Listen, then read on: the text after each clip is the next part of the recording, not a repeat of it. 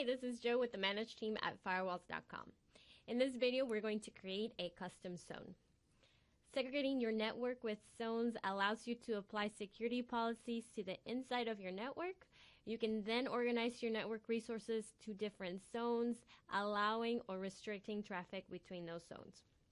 So let's jump in. Welcome to my lab. This is our TZ270 on a 7 firmware. To create a custom zone, you will go to Network, System, Interfaces. Uh, common configurations will look similar to this, where X0 is your LAN, X1 is your WAN, uh, and then you have other um, interfaces uh, and zones for your network resources, your network needs. I see here that X7 is unused, unassigned. There's no link to it. So let's configure this one for the video. Click on the editing pencil. Here you see zone. These are zones that I already have on my network. Today we're going to create a new one. For the example, let's use, let's say we need a zone for our front office. We want to isolate them from the network and restrict several um, services to them. Next is our security type. SonicWall has four options here.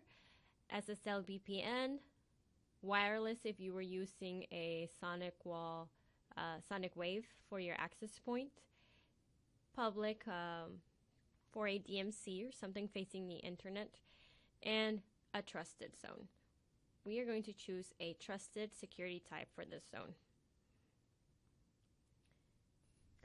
To globally enable the license security features that will be applied to this new zone, select the scanning engines that you wish to apply. I'm going to select all of them.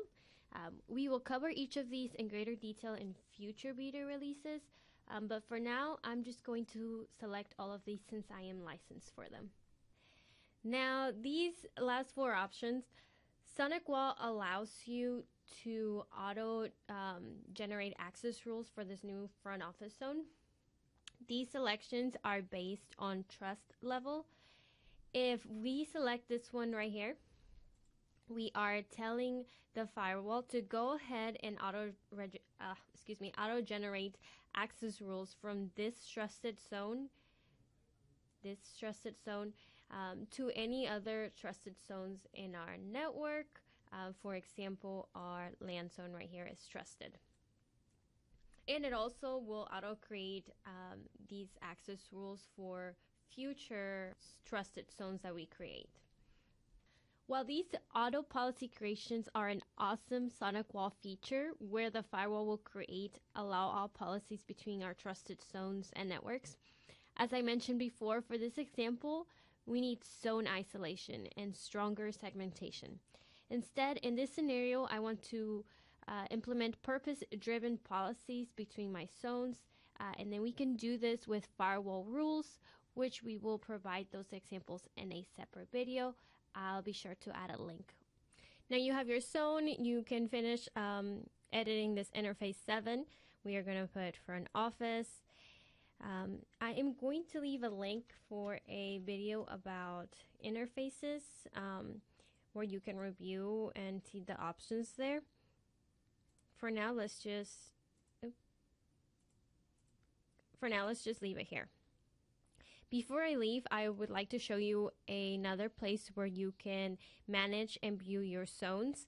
If you go to Object, Match Objects, and then Zones, you will see all your zones, um, what security type, what interface they're attached to, and then the services, security services that are assigned to that zone.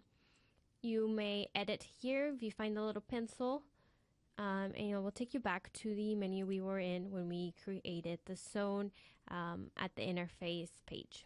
And there we go, that's how you create a custom zone.